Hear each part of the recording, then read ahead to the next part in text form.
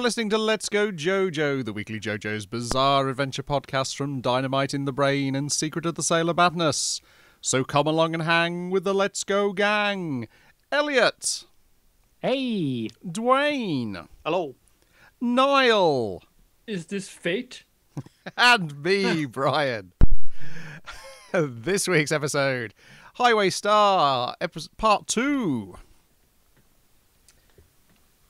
in which we drive around Morioh being chased by a load of feet. Well, the same feet. Yes, Slices of. Most and most importantly, Koichi walked the dog. that is true. I mean, like if the dog doesn't get his walk in, you know, he gets really cranky. So Pretty old, needs extras. and also, general drawings much better this episode, I would say. yep. Hmm. It looks a lot more like it, it its peak early on in the season. But yeah, they, he's basically having to drive around 60 kilometers per hour and he wants to find out more. He thinks the tunnel must be the key to this thing. Got to find out more about that tunnel. But how am I going to find out more about that tunnel when I'm riding around on a mo- motorcycle really fast? Koichi, he's a nerd. He'll know what, what, what where to look for these kind of things. also, this show reminded me that phone cards exist. I'd forgotten about those. I Oh, remember dear. those. You know, did, did, do you know anybody who uh, Put them in the freezer them? No, no, no, collected them. Put them in the freezer. What? to recharge the credit on them. That was the theory. yeah. A new type in the 90s just used to have loads and loads of pages of um like just like advertising like get all your anime phone cards. Ah, the collect hitting Yeah. that collector market thing. Okay, yeah. Yeah, yeah, yeah.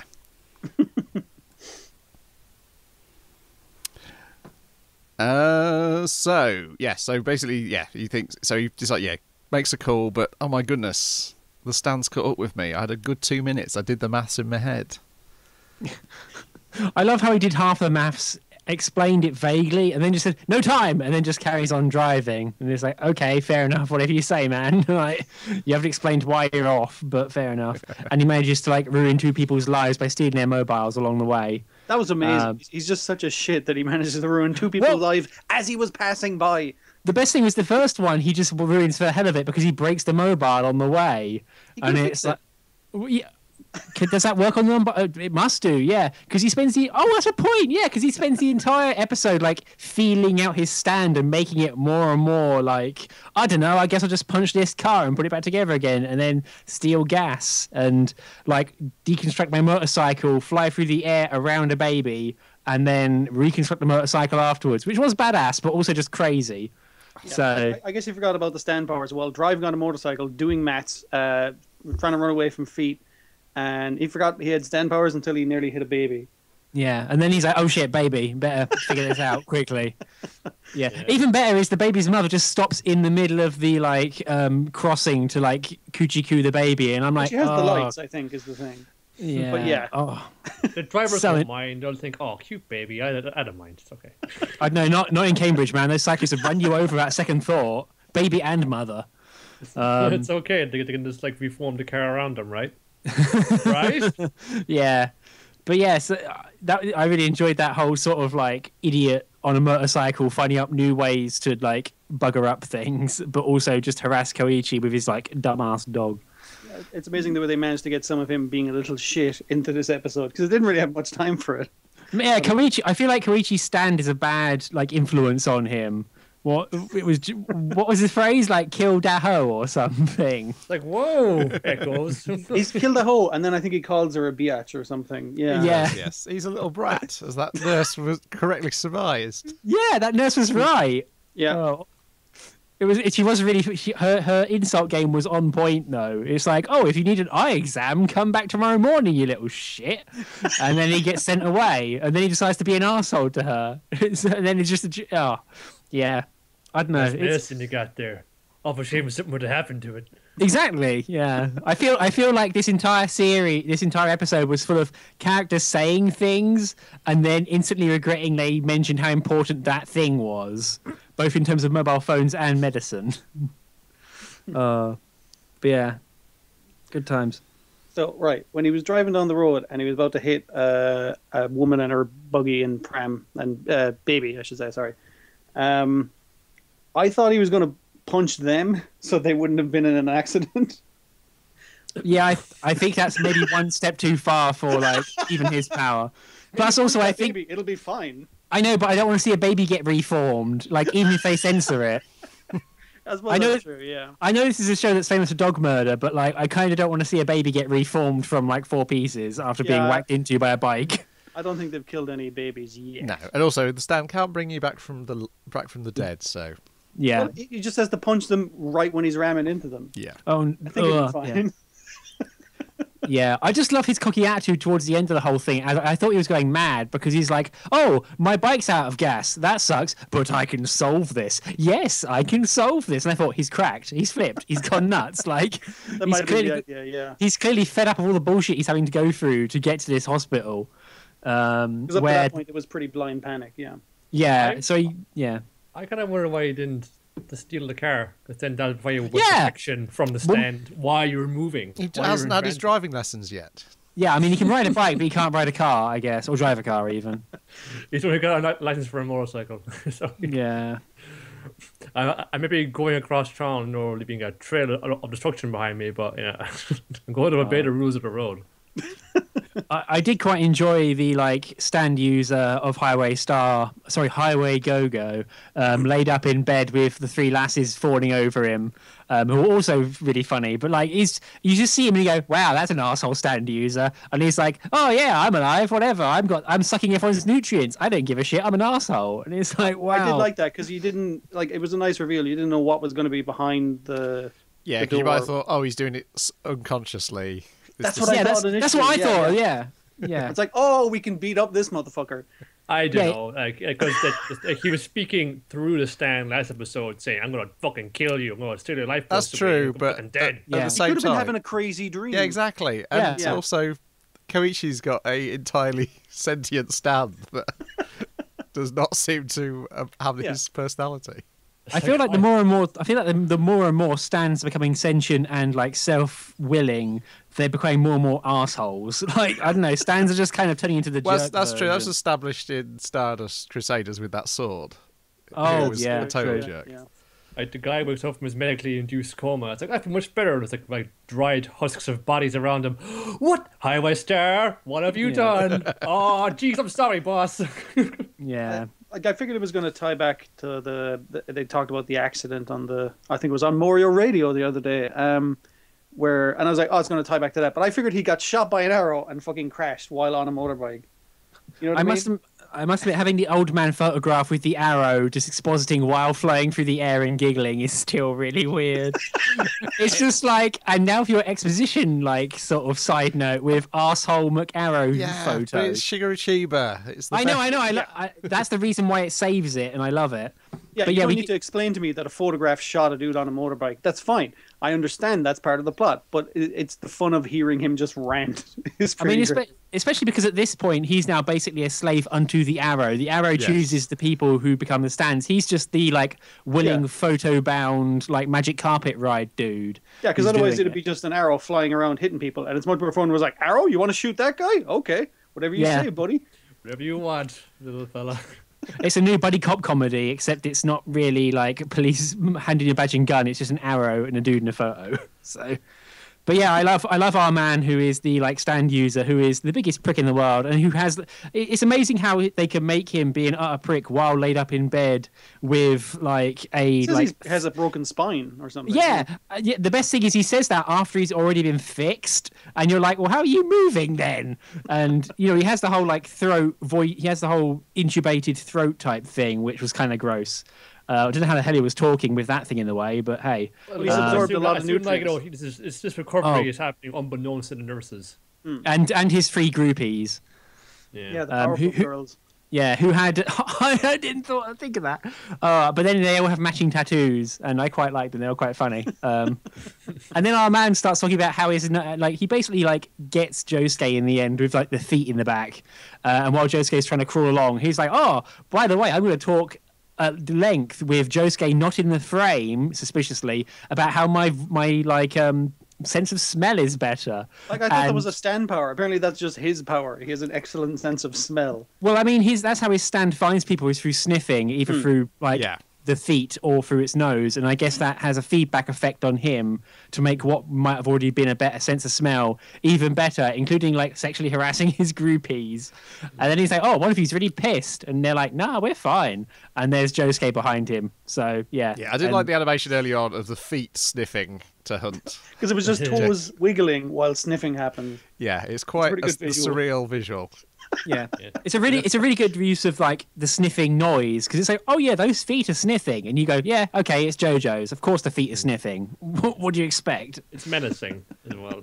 But Yeah. yeah, they were looked kind of left wide open though when the guy said, "Oh, I got my, my sense of smell back," and he pulls the oxygen tube out of his nose, and then it cuts back to him. It's there. It's not there. It's there. Yeah. It's not there. I yeah figured he just kept pulling it in and out. Yeah, that's the only those things actually those, kinda- those things are not fun to pull in and out I'll tell you that much so he probably Yeah. shouldn't have been doing that it hurts so yeah but yeah, then of course Josuke goes ham on him, throws it like he heals. Like the old man, the man says, "Oh no, you wouldn't be up an injured, man, would you?" And he goes, "Yeah, I already fixed you. You can move. You'll notice." And then throws him out the window and beats the shit out of him.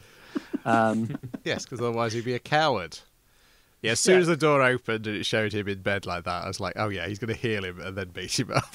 Yeah, I love it because, I, like I or, say, or I, heal him, and then his powers wouldn't work. Like I presume, it maybe it could, could be predicated on his own. The stand only works if he has injuries that need healing. yeah. Hmm.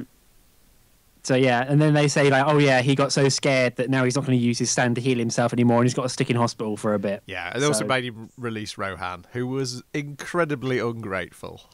It's Rohan. what do you expect? I'm still not your friend. I still think you're an asshole.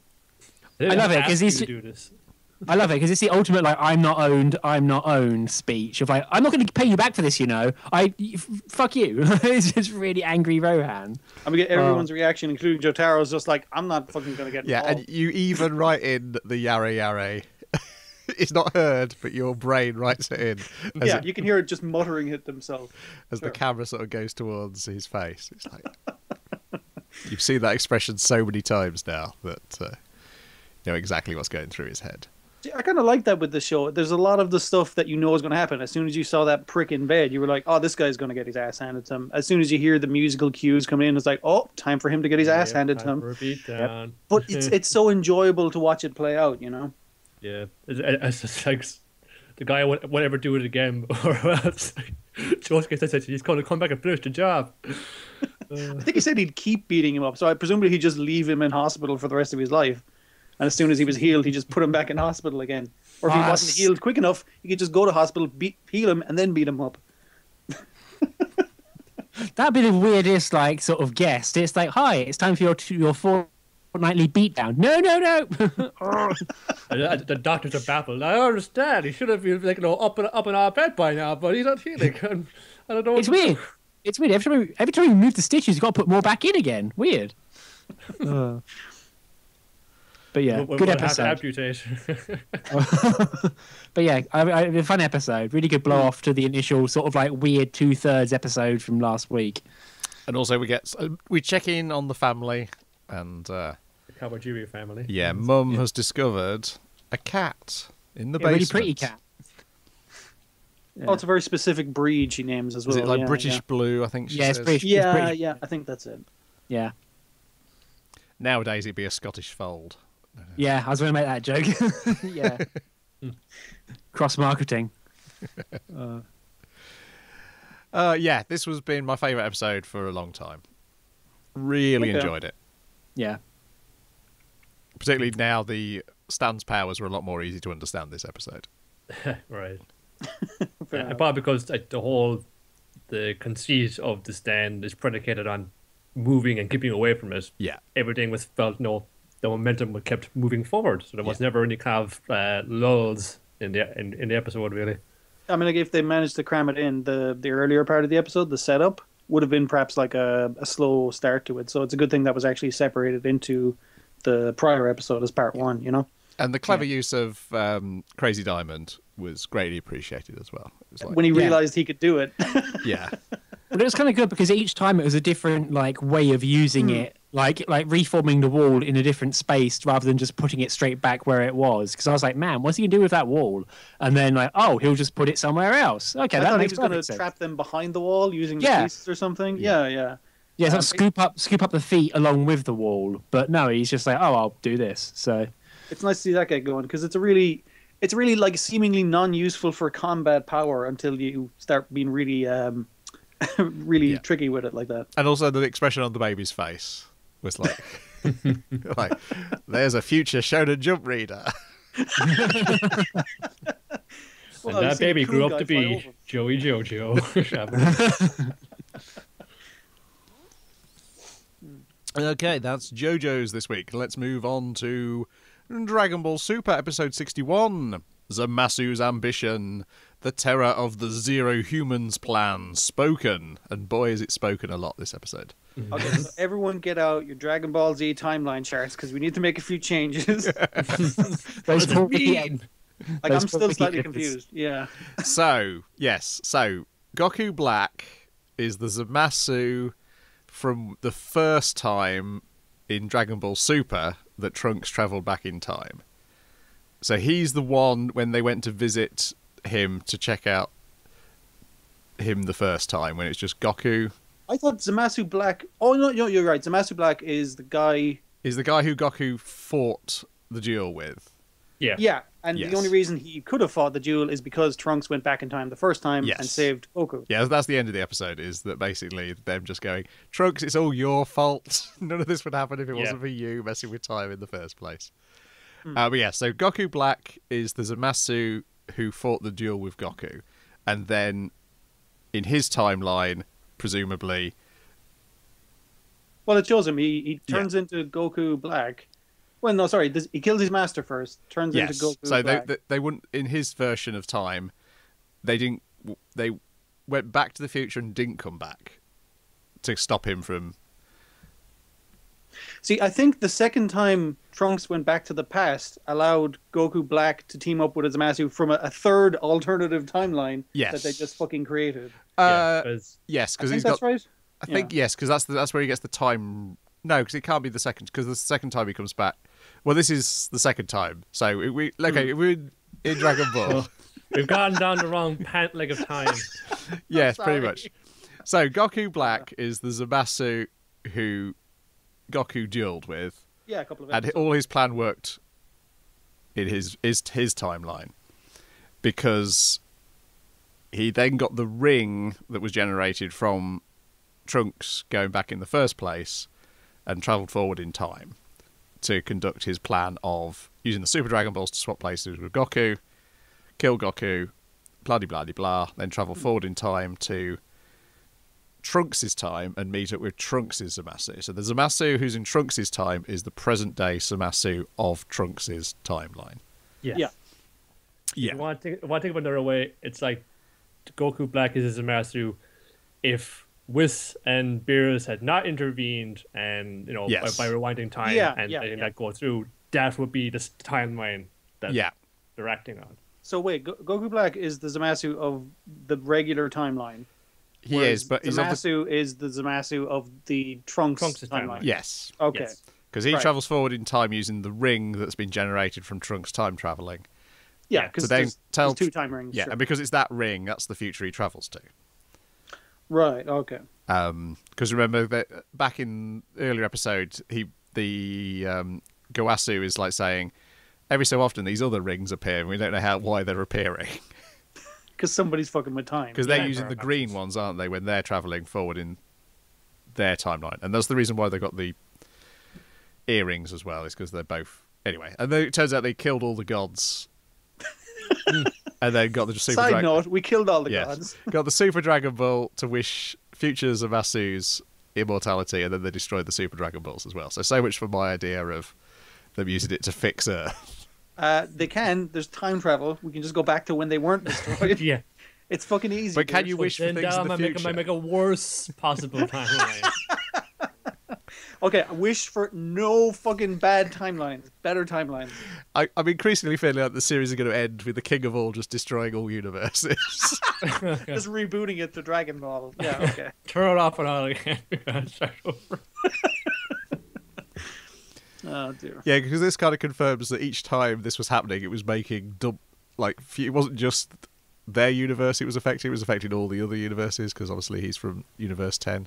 Yeah, so it's like it, not only is he creating an alternate universe for Universe uh, Seven. Sorry, uh, wait, is six the main universe or? Uh, Seven's the main one. So, so he not only is he creating an alternate universe seven, but he's creating an alternate all the other fucking universes. Yes. Every time he does that, because they're linked, as we've seen. Yeah, Uh, yeah. but despite all that, it, there's a lot of action as well because they separate it Oh, out yeah. quite nicely with the action. And I would say, as if you want a better explanation of what we're saying, watch the episode That's true. because they Uh. actually do a fairly good job of explaining, Hmm. much better than what we're doing.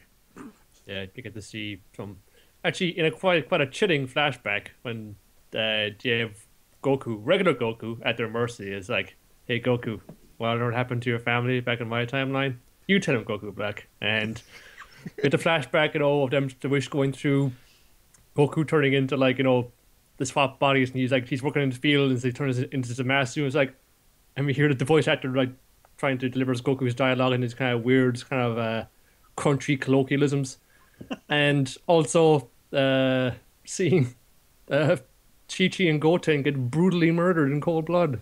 Yeah, I didn't really need to see that, but you know the implication of it was pretty bad. Yeah, Wow. this is a, such a good series. It's Hmm.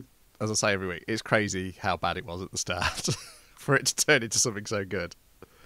And now it's super good. Like I, I never thought of it like uh, do something. Like, like there's, I I feel like like this is unusual. Like I haven't felt this about like Dragon Ball in in years, even when, since I've been watching it. Like there's like feels like like genuine kind of threat and menace here. Like these are guys who hmm, have yeah. outmatched them, both physically, but also their their clan allows it's accounting for not just multiple timelines and universes, but everything else as well. Like, they've covered all their bases here. It feels like if you- if you're generally struggling to figure out how they're going to overcome this, you know, it'll probably Yeah. just be some kind of out of nowhere power up, which seems to happen at the end of the episode.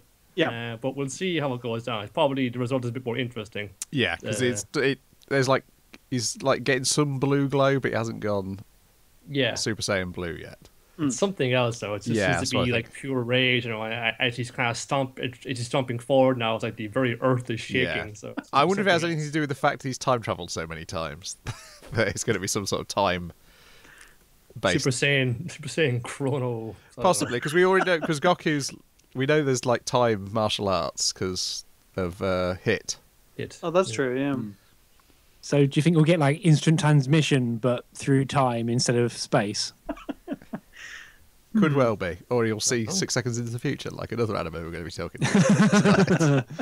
Man, hearing you guys excited about this makes me more bummed that it's not available legally streaming somewhere. well, it's going to be soon. I mean, they have, did you read the news about them establishing a department uh, just dedicated to Dragon Ball? Um, Dragon well, I think- Ball Room. That Yeah, sounds like an excuse to have call meetings and eat donuts. like, Well, I think like uh, saw earlier on the week there that uh, it had been licensed. Uh, yeah, you bits of Europe are getting it. Bits of soon. Europe, North Africa, uh, kind of Central Asia, different places like that. They are getting it on on TV, That's good. so it could be very slowly kind of trickle its way uh, towards the rest of the world. Yeah. Good stuff. Okay, on to the shorts this week. Bono Bono, episode 14. My Rock Broke, in which Bono Bono's rock breaks. And he's got to go and find a new rock, one that he likes, and also a rock that likes him. yes, very important. And Have a it good re- thing going to Yeah. rock. Results in him almost getting eaten by a sea lion. Which is. Like I forget that they're animals and that they have predators. you know, I was like, oh right, yeah, I suppose that would happen. it was a twist I was not expecting. yeah. It's great because it's like it's like oh man, this is going to be a bit long with like trying to figure out what they want to do with themselves, and oh, it's a threat. Weird, a really like weird that, sort of um, undulating, like, wobbly threat. I, I did like the way Fishing Cat also forgot that there was a threat when he said, "Oh, by the way." It's great. He comes on. and goes, It's great. He comes along and goes, yeah, sorry, um, I messed up. But thank God he came. Yeah. Oh dear. Yeah, I, I, I, I've, I've only just watched. I've only, I'm catching up on this show still, but I really do like how much of a complete prick Raccoon is. like, what a prick! That's his character. Yeah. Yeah, it's great. It's just like, yeah, this guy's a prick. And he's like, yeah, okay, I think fair this is the first time when Chipmunk had said, "Are you going to bully me?" and he actually said, "Yes, I am going to bully you." Well, that's because he actually says it really late into the episode. I think is the thing. yeah. Yeah. I don't quite get the uh, grin thing that um, Yeah. Chipmunk was I- doing. I guess that's some sort of wordplay, but Yeah. yeah. Because maybe there's a little kind of sound effect when he does that. So that is it. It seems to be related to him talking about the rock or or something breaking. So Yes. I I, I couldn't figure out it. Yeah. Yeah. No, but yeah, it's a pleasant enough fare. But I felt it was overtaken this week by a seal at a Mm. sports day.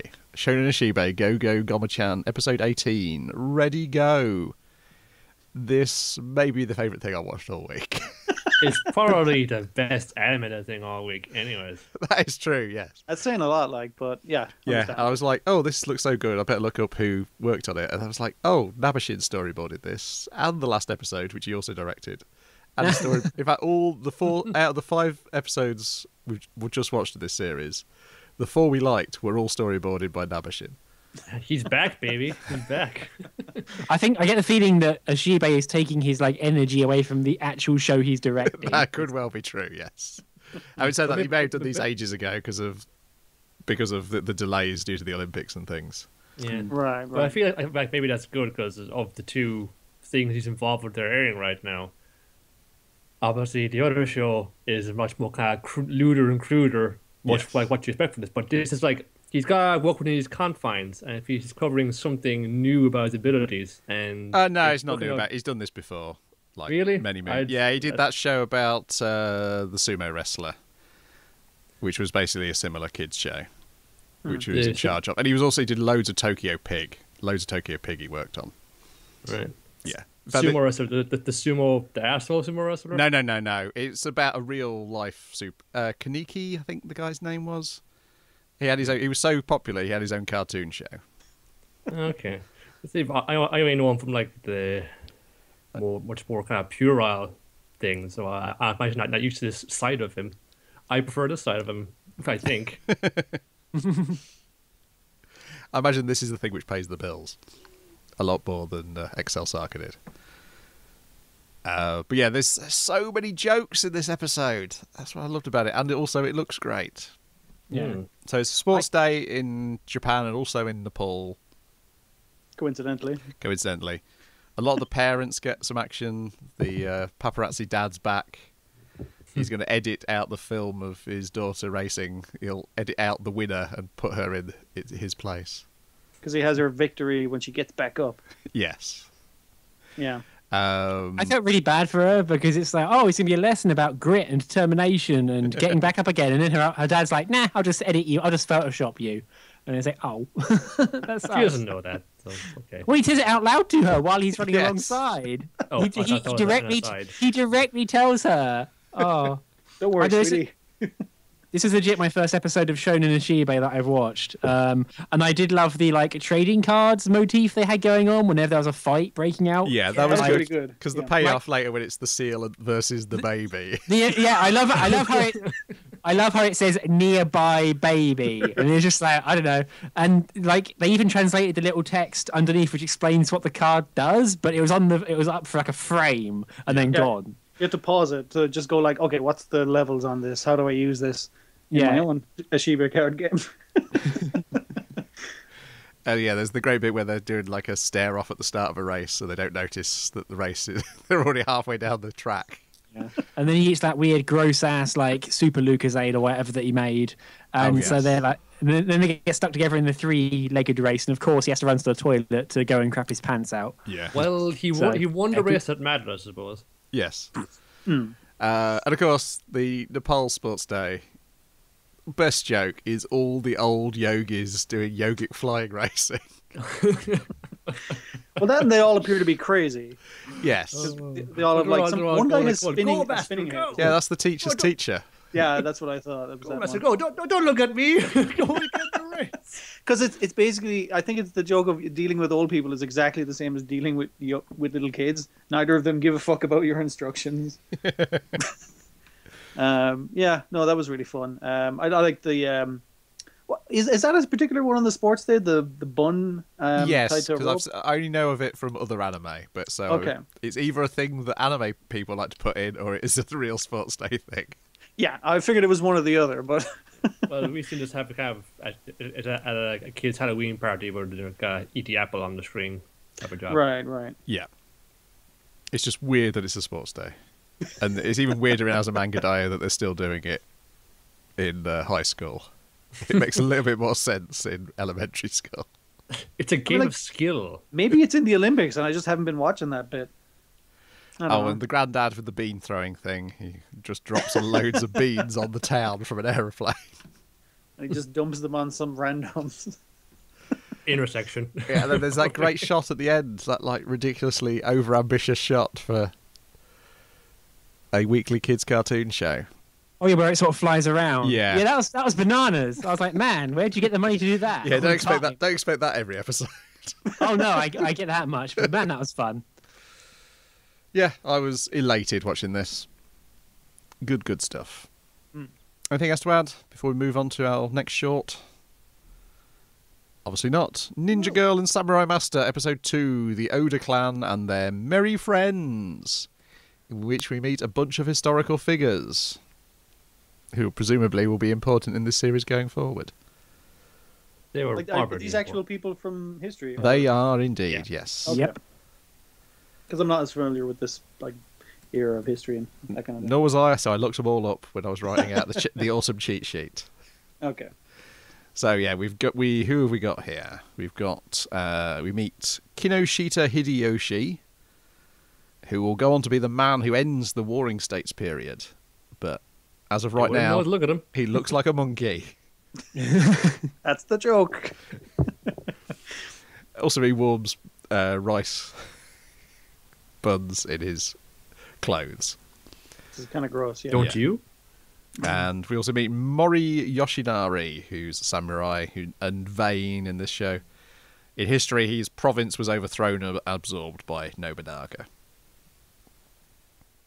And we meet Oichi, no- Nobunaga's beloved little sister, his official wife, Kicho, and then at the very end we get mention of Imaga- Imagawa Yoshimoto, a rival feudal lord, who apparently died in 1560. And as Oichi was born in 14, 1547, I guess it's somewhere in the late 1550s at the moment. Hmm. Uh, I think it's just a bunch of gags as per normal introducing these characters, who I assume will be recurring later on. Much in the same way that the early episodes of Shonen Ashibe, Go Go Goma-chan were just like, here's a character, we're going to do some jokes with him, and he'll come back later. It's a good format. It is, yeah. And this is a pleasant way to spend three minutes. I really like the opening theme as well. Yeah, it's uh, it's, it's pretty cute. Uh, it's it was a little jarring at first to see this like adorable little ninja girl just glide through uh, a, a, a battalion of soldiers and just royally slice them up. Uh, and then come out the other side just covered in blood. yeah, but that's just part of the appeal, I guess. it is, yeah. I'm I'm like I'm saving this to watch next to Drifters. I think that's the right way to do it. Yeah, that's a good idea. Get all your Nobunaga done in one week. Anything else to add? I, I did like the gag where um, the monkey dude was like, "Oh, show us your like shadow clone stuff and make a giant frog appear a la Oh, yeah. Naruto." And then the like wife lady who looked very sensible and sane comes off and goes and exact asks the exact same question. Yes. That's pretty good. I do have to tell people on the comments thing. Everyone was going, "Oh, it's a Naruto reference. It's a Naruto reference." Okay, Oops. guys, guys, Weird. guys. The Naru- things in Naruto are a reference themselves. What to then? Uh, basically, is it the Koga Ninja Scroll? Uh, basically, a pulp novel from the fifties, and then a bunch of copies, and then movies in the sixties. There's loads of things which have got those things. That sort of idea. yeah. that idea, and riding. It's even the like riding on frogs is a thing. Yeah, there's like a 1966 uh, sort of a kaiju and ninja film. There's definitely got a ninja riding on a horned toad. so it's like, yeah, yeah, they, they weren't invented for Naruto. Basically, it's um, you know the anime series Basilisk. Yeah, Yes. yeah. Yeah, that's based on that series of novels or novel rather. Maybe It's on a sham. Yes. Basically, the way we think of ninjas behaving was kind of invented in the 50s. So they're a bit like Batman in that uh, they're a much more modern invention. Okay, on to not ninjas, but ice skating. Yuri on Ice, episode 2. Two Yuris? Drama at Utopia. In which the other Yuri shows up. And now they must fight on the ice. they must. Yeah. In a Well, sports they just anime basically bitch style. at each other. Yeah. Uh, yeah, I, I, boy, this is this might be my favourite thing overall airing. At yeah, the moment. it's it's crazy good, especially because you've got Victor, um, basically sort of running the entire show himself, and it's great because like he show, you know, he's you know sort of getting used to the place and getting like sort of settling in, but he's also just insane. He's just intensely cutting the whole time, basically giving Yuri. Like the Japanese one, no slack whatsoever, which Yeah, is if it actually wasn't really for the fact that he was such a pretty boy, he'd be a massive prick. I think that's what really helps though, because he, he's like, there's a point to all of it, right? It's like Yeah. when he eats the tonkatsu and he says like, "Oh, do you like eating this, Yuri?" And Yuri's like, "Yeah," and he's like, "Well, how come you're eating it? You don't, you haven't won anything." Like, it's a great bit. He's like And- his, his whole kind of character was like, ha ha ha ha, I must break you. yeah. Well, he's kind of yeah. He's Yeah, that is basically it. Yeah. He's It's the a fact- Russian coach. He's just Yeah. not, not in the form you normally expect him to be Yeah. in. I like the fact the other Rus- the Yank uh, is it Yankov, Yakov, Yakov. yeah. Yeah. The uh, their previous Russian coach. In the previous episode, we just saw him yelling in the background, and now you kind of get to see his personality yelling in the foreground. This episode. well, over the phone and whatnot. Yeah. yeah. I did, I did really love that line where um, Victor's like, "Oh, I'm gonna go do what I like. I've had enough of listening to you," and then the guy just screams at the airport, "You've never actually listened to me. What is this?" yeah. Yeah, but I think he gets away with it because he's also flirting with everybody constantly. Oh yeah, he's just he's it's great because you, he look he looks you know unimpeachable in all of his performances and his persona, but then he's just a massive twit um, and a massive flirt and just a massive like I'll do what I like. I'll just do it well, so no one calls me on my shit And, ever. Yeah, he's not really running it all on his own. He's got three helpers.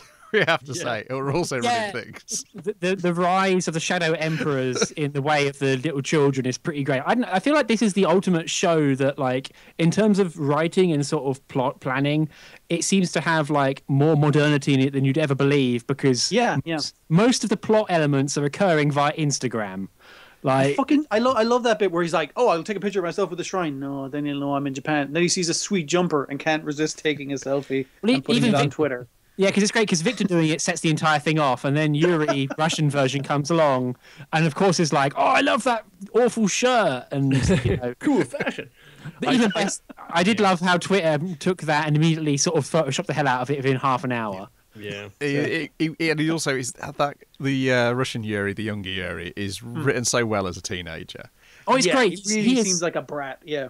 He really is a brat, but he, you can tell also that like the thing that he took to heart was like a kind of throwaway thing. But that's what kids, that's what Yeah. teenagers do is they take Yeah, yeah, everything yeah. to be the end of the world and to be the single. Like it's great. You can tell that Victor has the, the almost wants to say it himself. Where like Yuri, if you applied yourself, you could make your own bloody routine and like have your senior debut. You don't need me to do it, but he isn't coming out and saying it straight away. And So- yeah, there's also the bit where um, Yurio, as he gets called, is yelling at That's so good. Yuri. I love, I love how like Yuri's sister meets Russian Yuri and goes, "Oh, giving you a nickname. Here we go." Uh, and then when he's yelling at uh, Yuri, and it's like it, Yuri at first is like reacting how he did in the first episode, and then he sort of go, realizes "Oh, he's just a kid. this isn't this isn't as threatening as I need to feel it. Yeah. I, I like it's got a little monologue. It's like, "Well, this guy thinks I'm just some mild mannered dweeb, but I'm just gonna like grin and bear it, and I'll fucking show him on the ice if I got." Yeah, yeah. It's a really nice moment for kind of both of them, and it defines um, Russian Yuri uh, Yurio's character without um, needing to spell it out uh, because we're Yeah. seeing it from that other character's point of view, how he's how he's in, Yeah. realizing he is now. And then the reaction to the music at the end of the episodes is the other thing. Which. I then, and also I like how Victor basically just says, "You're both mediocre." That's Yeah, it's that- like I'm fucking Yeah. great. You guys suck. So if you want to work with me, I really enjoyed that because it's the I, I love that as him saying that to be like, hey, like get your shit together, stop getting fucking wind up your ass, like you stop being humble and pissing about, and you stop being a prick. Fucking b- work for me, bitches. Like it's real good. This isn't the kind of like I believe in you, you can do anything you want kind of inspiration. This is more like the kind of Glenn Gary, Glen Ross style inspirational speech where it's like, you want to work here, you close, god damn it. yeah, it, this episode, this episode, this show so far is doing like a lot of um, uh, differences than you get from like a regular anime thing. And I know it only takes him like an episode over the course of what I assume is weeks to lose the weight, but at least he has to fucking lose the weight, you know. Yeah. That that's nice to actually see. yeah, good stuff. Definitely highly recommend it. If it's not on your watch list, stick it on there. Now, on to more disappointing returns. Bungo Stray Dogs, episode 14. Is this the show now? Nowhere to return. Ah, it feels Nowhere like it's going to be for at least two more episodes, I think. Oh my god, I don't care. I don't. I, I, I don't thought it care. wrap it up here, but no, it's going to keep going. Uh, Okay, Drifters, episode one. no, no, let's fucking do it. Let's just get Oh, it we done got, we and got out to of the way. this out even briefly. So, what? The fucking guy who's with glasses, whose name I don't care about because who cares? He was like, like they, they, the organization. What's it called? Mimic, Yeah, is it? yeah. yeah. Um, they had him captured, so they had to try and hunt him down.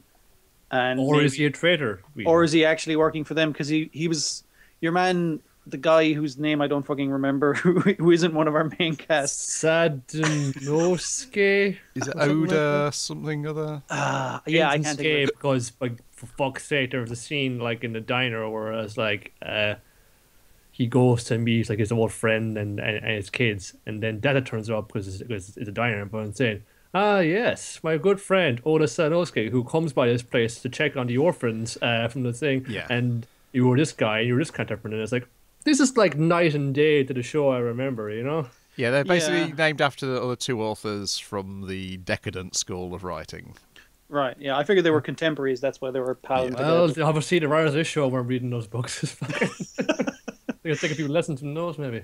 Uh, but yeah, so the glasses dude was a dub. uh, He postulates he was a double agent, Turns out by Um, the end, he's a triple agent. or he was just a regular spy. it's yeah, I guess triple that would work. Because there's a bunch of people show up at the end who we've not seen before who he actually seems to be working with. Yeah. Um, and yeah, like you said, now there's a bunch of other things like that where it's like, oh, he actually cares for the orphans. And Dazai says to the dudes, where where a bunch of guys are like, oh, I know that guy. He sucks. He doesn't even fucking kill people. Not like cool dude like me. And he's like, he'd fuck you up, dude. But, But- except if you poison a ball, that would get him, I guess. But really, you can see why Dazai swapped sides because the people, these people he was hanging out with before, are fucking boring. Yeah, I know. Because you think the Port Mafia, and uh, uh, that was the show, like the prior show we watched, where it was like, oh man, these Port Mafia guys look cool. Ooh, look at these guys. They're from Black Lizard. You got to watch out. But they're fucking terrible. And I liked that. But in this show, it's like, yeah, let's hang around with the Port Mafia. And I was like, no, those guys suck.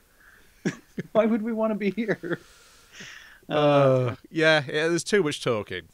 Oh my God, there's altogether too much Oh. talking.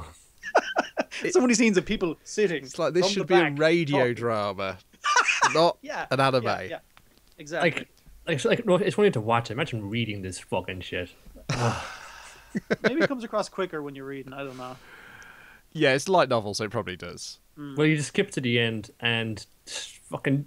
That's that's left the port mafia and, and the other two guys fucking died, or one of them died. We know it from the beginning, with them, and this other guy's pissed off somewhere.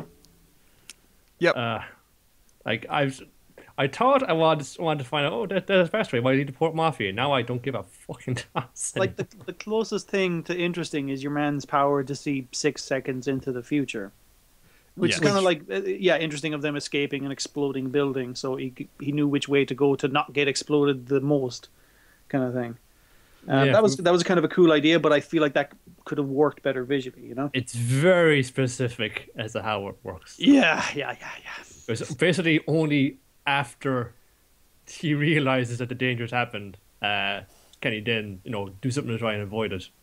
I guess that'll that's the go away to make it too stop making it too OP, but Yeah. it can also be this will only work function properly under very particular circumstances. I so think it was the fact that, he, like he said, the guy knew someone used who someone poisoned this fucking football who knew what, how my powers work and put a poison that would take seven seconds to enact or something like that. You know? Yeah. Now, who do you know who is who who you've become aware of has been involved in some like double dealing over the last while? Who Yeah. that- yeah. Uh, dear. So, Drifters episode one. Yeah. Yeah. Fight song, in which we check in on Hirano's D and D campaign, where everyone's rolled up historical figures. uh, yeah, so basically we follow uh, what's his face? What's this guy's name? There's going to be so many. Toyohisa. That's him, one dead samurai, uh, who died in 1600. Yeah, but we get to see that whole how he died thing, and that was pretty sweet. Yes. and he finds himself in a white corridor with a man silently chain smoking, He's like, "Excuse me, I'm on lunch break." and he gets sucked through a door and dropped in a world where he's found by a couple of elves. And they're like, "Oh Jesus, not another one of these fuckers! Come on, let's drag him into the woods. and he goes, Are we going to get in trouble for going into the woods? Well, We're gonna get in trouble for seeing him, so fuck it." yeah. As long as we don't say anything, we're not going to get in trouble. I mean, they didn't swear as much as me, but No. yeah, basically. and they yeah. dump him off with a couple of these other uh, round ears that they found previously, Hmm.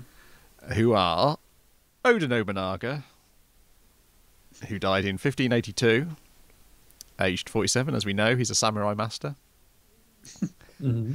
and Nasu no Yoichi, who died sometime around the 12th and thir- or 13th century.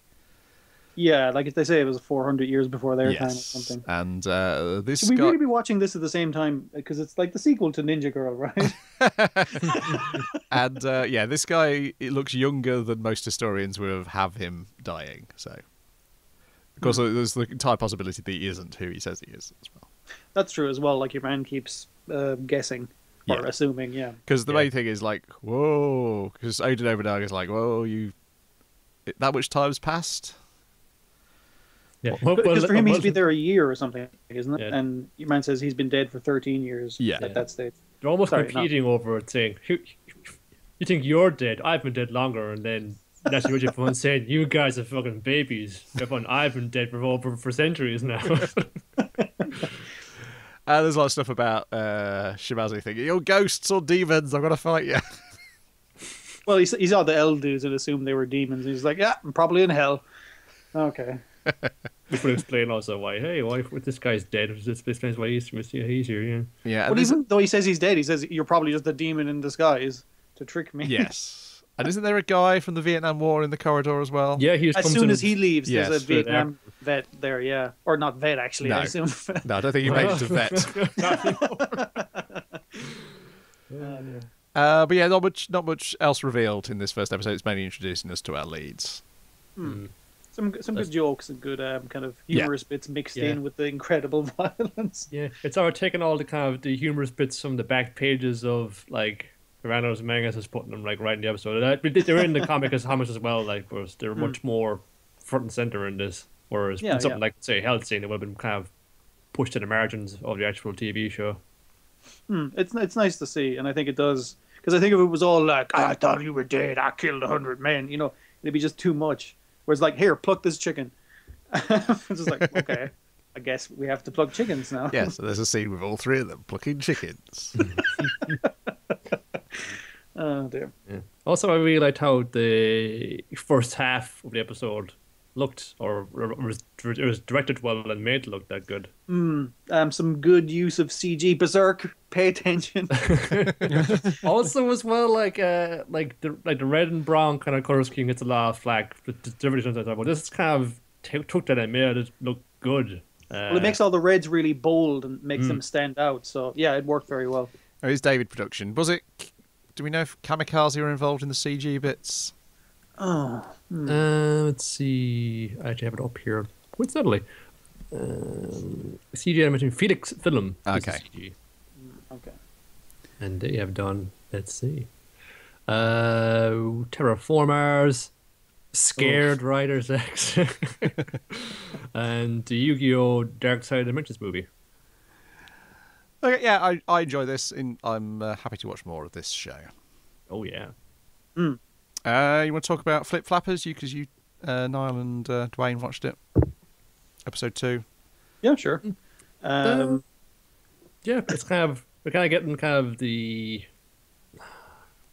or side plot? of kind of, the flip side of that now where we saw in last episode how Cocona was kind of I guess the normal everyday girl um and Papika Cocona seems, seems to be going about her everyday life now as if nothing happened from before but then Papika shows up riding a flying surfboard next to a school bus or, or the train or whatever it was It's like, oh yes this that, that did actually happen didn't it uh yeah, I did like that because like, you think they were going to keep all the weird shit separate from um, the the fantasy stuff, but there she is riding beside the fucking tram, and everyone's just like, "Who's that fucking girl on the flying surfboard?" yeah It was nice. yeah. And like her, I guess her, her, I guess her good friend gets trying to like watch off her and say, "Who's this like weird? Keeps following you. Am I, doing something about this?" one?" No, don't mind her. I'll take care of it. And you know, she's obviously worrying after her friend uh, that you know this crazy red haired girl on a flying surfboard is following her around, but also she feels like you know she's hanging around with her a lot as well. Like you know, is she going to like this kind of ditch me and go off on this one? There seems to be a little bit of like a uneasiness around her, which I like. We'll see that that turns into anything else. I'm hoping they don't go like the romance thing with it because the the main everyday normal girl seems like everyone there, like the someone in our class saw her looking at a painting and said, "You should join the art club." You know, they're just like really, we gotta get this one on our side. She's great. Mhm. They're all very interested in her. I guess she's the main character. is the only logic I could think Well, of. I, I recall her saying like no, like uh, that she could go to any school she wanted to. So she's obviously she's very high Hmm. achieving, but she's just I guess not very. She's very modest about it. I don't know. Okay. Um, anyways, they want up you know uh, go into another kind of fantasy world, going down a rabbit hole, uh, so to speak, and Yeah. they wind up in some strange dimension where they become like part rabbit people. And yeah, this, and all the colors are inverted like in JoJo when shit goes down yeah, and they have this like uh, insatiable urge to try and gnaw on things uh, because they have rabbit teeth now. Yeah. yes, they're rabbit teeth, yeah. I'm not sure if that was Um, supposed to be like a weird sex thing because they kept presenting it like that. Well, I don't know. It was it was kind of odd. Yeah. yeah, this is kind of put in motion because uh, Cocona has this pet green rabbit thing. Um, yeah. and it got hoovered up by I think the campus's automatic uh, cleaning gadgetry.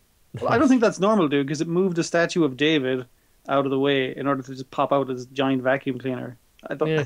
I don't think that's I supposed to be there. I thought it was some like automatic uh, this uh, campus cleaning like gadgetry. That's you know if it detected like some kind of rubbish around the vicinity of the statue, it was kind of hoover it up. Right. Okay. I don't know. Maybe oh, it could be something else entirely. I don't know. so go to this fancy world to try and find the rabbit, and uh, it's complete kind of sort of dream logic like type of thing. And it's like I guess that could be the kind of the, the point of it, where they're it's this strange thing. They get turned into rabbits and they want to gnaw on things, and then they wind up in the guts of this giant machine that's the to vacuum bunch them up. Yeah. Yeah, and the pet rabbit shows up, but he's now turned into this, this like big hulking green dude. Looks super cool. Uh, Yeah. He looks like a stand. uh, and then uh, this time Cocona is in danger, and like Papika then awakens to her strange power that we saw Cocona exhibit in the previous episode. So um, they have some kind of shared abilities, or their fates are intertwined somehow.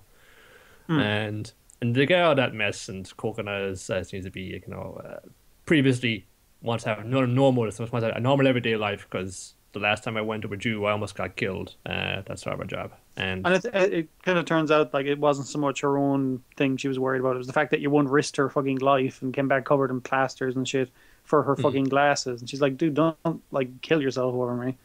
yeah, She, she she didn't want that. There's some. It's more so the guilt uh, of of that girl getting hurt than um her own uh, fear for her own personal safety. Yeah. And they find another fragment, and then Cogan, uh, Cat says, okay, we gotta bring this to the, the Flip Flap group. And they seem Yeah. to be the guys who are over this uh, dimension hopping business. And they say, okay, we, we, you got a job to do. We gotta send you to all different dimensions. You gotta find the fragments for something. We don't know what it is yet. Uh, I think they said they grant wishes. So, I think they said they want to turn the weird fucking trippy scape. What, what did they call that again? Yeah, the like mysterious leader of the group says like the the realms is called uh, pure illusion. They want to That's- liberate pure illusion, Yeah, yeah. whatever that means. Um, yeah, so we're, we're gonna don't know a lot of. we- We're getting an idea of what's happening, but we still don't know exactly what is happening Yeah. in the plot. like the the post credits thing from the first episode, which, uh, if I recall, robots turned up, and like chloroformed the girls and presumably took the fragment. I don't think that's ever referenced or touched upon, unless I'm Yeah. missing something here. Um, because it, when she wakes up, I initially thought I was playing the first episode because the exact same events play out with the grannies at the bed. And it's like, oh, did you have a dream? That kind of thing. Um, And I was like, wait, am I watching episode one? And I had to pause it for a sec just to see the actual title come up. Um, yeah, it just seems to be like nearly like a reset button on it. So Yeah. not exactly sure what's happening there either. Yeah, it's- th- th- th- this will uh, be one that will show up things, further illuminations of things when if you rewatch earlier episodes, knowing Mhm. what you will eventually learn in later on in the series, or that would be my thought anyway. Hopefully, yeah, yeah. Um, at the Um, moment, it's really like plot light, and it's just like check out this crazy sequence, which I'm fine with. It's Mhm. just um, there's not really much meat there to get someone kind of hooked, and um, Mm. I, I think that's a bit of a problem, not not in its favor, like you know. Yeah, that could be it. That could be what would off of. Like I- personally, I don't mind. I'm actually kind of intrigued by it. I want to see what happens to it. I definitely don't mind looking at it. Uh, No, it- no, I mean like that's a a good enough reason to watch it. Yeah, absolutely. pure visually, yeah. Uh, Just funny little moments in there, like like Papika turns up, you know, uh, she's wanting to guess blend in. She's kind of blending in, I guess, what she is expected to be. So she comes up dressed like a magical girl, uh, and Cocona is like, "What? What the fuck are you doing here? You can't be here." It's like, "Oh no, I'm the uh, what you call it? I am the uh, transfer student. That's right." Yeah, dressed in the most frilliest kind of dress she can manage. Pay no attention to the girl in the footy dress, please. She's doing a very bad job of blending in. And I'm kind of curious as to how that's going to work out because if all this weird shit exists in the real world, for lack of a better term, then uh, how that's is it going to bleed over more and more as the show goes on? You know? Yeah. Um, I'm wondering now as well, just thinking of it, like, uh, if they're going to go to different kind of riffs on fairy tales, because like the first That seems to be episode. Yeah. had like a Hansel and Gretel type of thing, where they're leaving the, the trail of, of, of breadcrumbs or whatever it is, where the, the Uh, through the forest and everything. in, yeah, the, yeah. the forest anyway, and they kept eating them. And this guess was they go down a rabbit hole, they following a rabbit. Is this like an Alice in Wonderland type of job? Yeah, yeah. Um, so we'll, I, I, I think they're going to like have some play and those kind of things going forward. We'll see what they do. Like Hmm. I said, I'm intrigued. I will keep on this. Yeah. Now, Niall, you kept on Time Bokan 24, just as I did. Yeah. Quick chat about the Wright brothers were actually an only child, Ah, in which it turned out that the Wright brothers were actually an only child. What? yeah. so it was only um, Wilbur, or was it Orville? I forget. Which I, I think it's Wilbur. Yeah. Basically, in this one, it, it feels more like what the actual plot of this show should be, in that the villains are trying to f- alter history so it resembles the history in the history books. Which I don't think they were doing in the last episode. Well, they were doing Just a a- really bad job of it. Yeah. Yes. Yeah. Their solution is to get Wilbur to go out in the town and get drunk every night. to coerce them into Yes. then With a brother part which they've plan. built for. Well, no, they brought to life, haven't they? Because he'd already Yeah. got this dummy brother. Yeah, Uh, like a Because rather than make aeroplanes, his he he uh, makes bicycle headlights. Didn't weren't they bicycle makers? They were, yes. Yeah, yeah. Yeah. But he doesn't want to fly, so they kind of force him to fly. And then they make a mecha, which is a drone mecha. And they're like, oh, like delivering pizza. And then this drone mecha fires pizzas at people. Yes. Say, are we so modern? But I kept forgetting. You guys are from the 24th century. You must have like gone to hover cars by now. Why are you this again? But I don't know. Uh, which the uh, good guys mecha then eats the pizza. Because it's just a pizza, it's not a weapon. And then we cut to inside, and everybody's eating, eating the pizza inside. Yeah, it's pretty good. Wow. yeah, I thought this worked better than the first episode. Yeah, not bad. I, I, I the whole montage of it of this like uh, Wilbur and the dummy going out into town and fun. They became known not as the Wright brothers, but the Knight brothers because they knew one of the best places to go in town and have a good time. And also, there's the bit of the first episode where the female lead, Callan, is like wistfully looking off, going, He's not here either. And then we revealed in this episode that everyone else noticed her doing that. And apparently she Yeah. does this all the time. It's better that way. Just just stick it out there, let it hang. Like make everyone like shrug and go, "Yeah, we know she does this. Come on." And apparently it's her boyfriend, the robots tell Tok- Tokyo. Uh, what, else, what other things of note? Oh yes, we were both right. The the head villain has a a pig face, but the Big nose, of skull face thing. the, yeah, the, but the nose of the pig is a skull. Right. Okay. So we were both right last time. But yeah, it's uh, a lot of fun. Now, did you watch Tiger Mask episode two? Anybody? Just me then. Okay. It's alright. Sorry. Uh, I never mind. to- It's hard to watch because it's not on in the UK, so you got to get catch up on put on your VPN mask, as I did. Anyway, the second episode I'll just briefly say is like a very weird. Uh, it always comes across as like this is how you should act if you're a promoter of a wrestling promotion. Is it is it doing? I saw you saying that. Is it like um, uh, what was like a manager for a, an idol group? is it doing Uh, that kind of a? it's a bit like, but it's also like, yeah, how to. If you're putting, they basically they talk about, oh, we've got to, we're putting on this big show, but to build this big show, we've got to put on a smaller show, which builds up to that. And then like the agent, the uh the is it is she the niece of the trainer? Yeah, she is, isn't she? yeah, yeah, I think so. She's like she goes to the New Japan show and she's like uh, and and Yuji, uh, Yuji Nagata's explaining and here's where we sell all our merchandise and she's like merchandise I'm gonna get merchandise for Tiger Mask How to buy Tiger Mask Yes. action figures.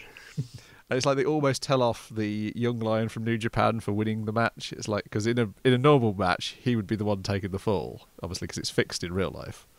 But they're always disappointed that he won. It's like ah, he won. You put on a good show, but it would be better for building up the next match if he'd lost.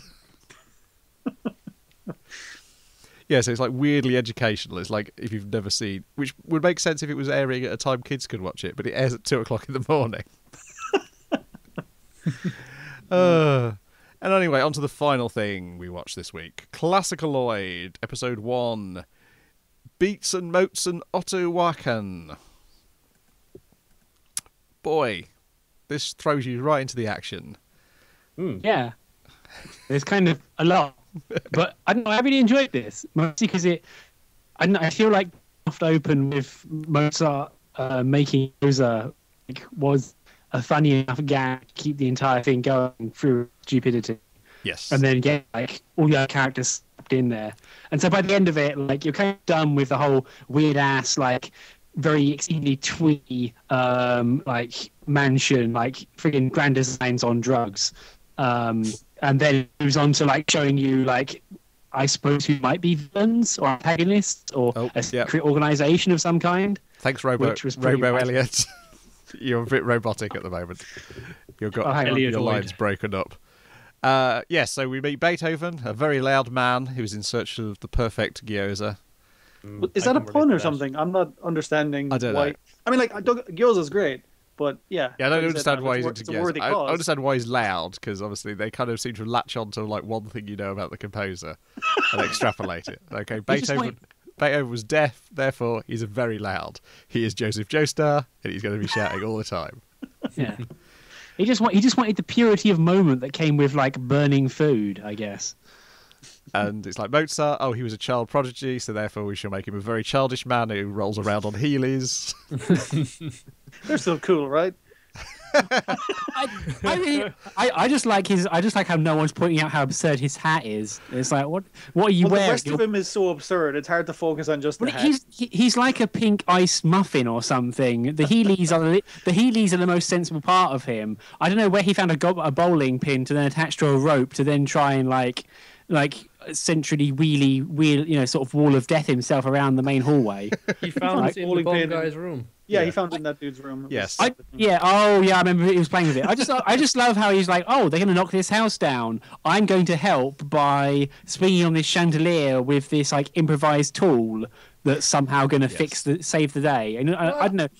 I think it was more like, no, if, if your old girl is gonna like, you know, be demolished tomorrow, I might as well take her out for one last spin.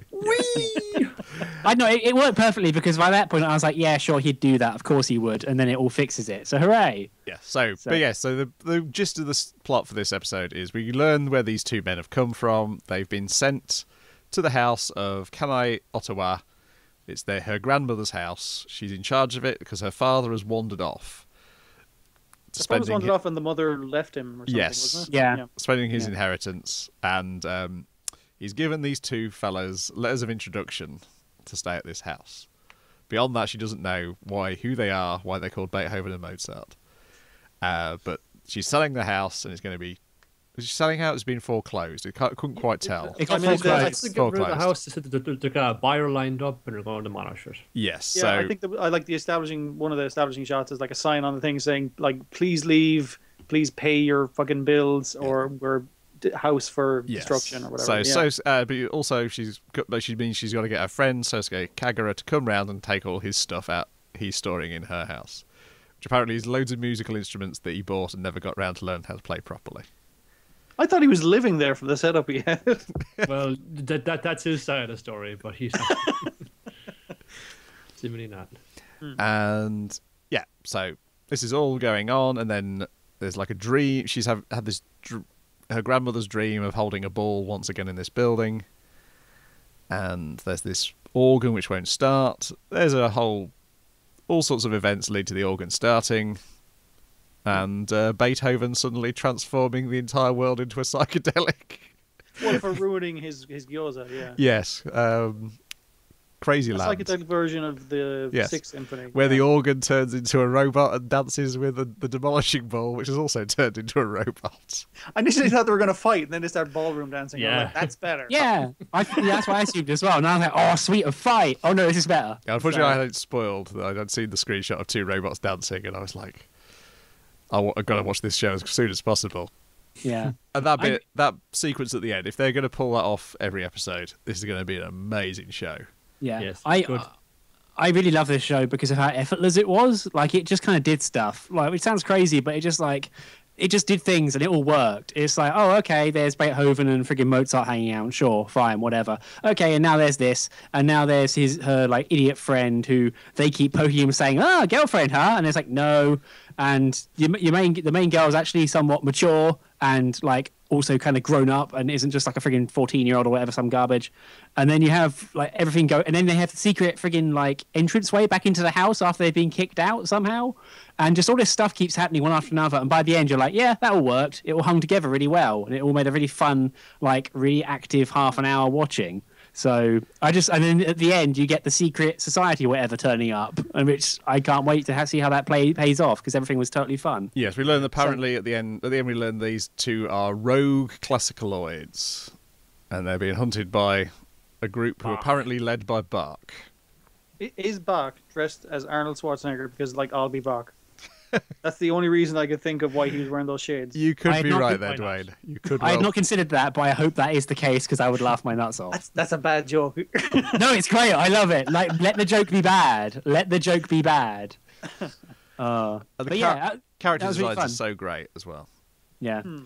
And and your man who does um, you know uh, Mozart's like voice acting, um, well you know Gintama dude or whatever the hell his name is. I forget his, yeah yeah Koichi. Like he's he's having a whale of a time doing the voice acting on that guy. Like it's great fun to listen to him because he's having he's just bellowing out. yeah, he's easily like the best character in it anyway so far. Yeah, anyway. Uh, yeah, at least so far. But Hmm. yeah, Yeah, I'm looking. I noticed it's like different artists do the music for each composer as well. Apparently, so I would hope that they get at least more than one piece of music to use per episode, though, because while I liked the arrangement they had for uh, Beethoven's uh, symphony there, th- it kind of wore out spoken by the time to use it for the opening, the internal song, and the ending song. uh, no, Yeah, I, that's I'm going to guess you're not going to get that because I bet this is a 12 episode series and we have nice 12 tracks to stick on an album. Yeah, that seems to be probably what they'll do. But yeah, looking forward to the next episode. And that's it. Oh, well, the, the end sequence also reveals a bunch of guys. Oh, yes, yes. kind of excited. Is it Chopin sitting in a cardboard Chopin. box? I think it might have been, yeah. Yeah. Oh dear. I'm, yeah, I'm just curious because based on who we've seen so far, like which single element of the composer are they going to uh, draw out a character, a cartoon character from? Yeah, yeah. Yeah.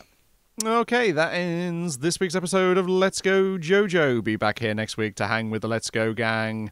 And in the meantime, please check out our regular podcast, The Secret of the Sailor Madness.blogspot.com, dynamitingthebrain.com, and Elliot. Uh, UK-anime.net. And subscribe to our YouTube channel to listen live. Uh, except this week it didn't go so well. Goodbye. Bye. Oh no.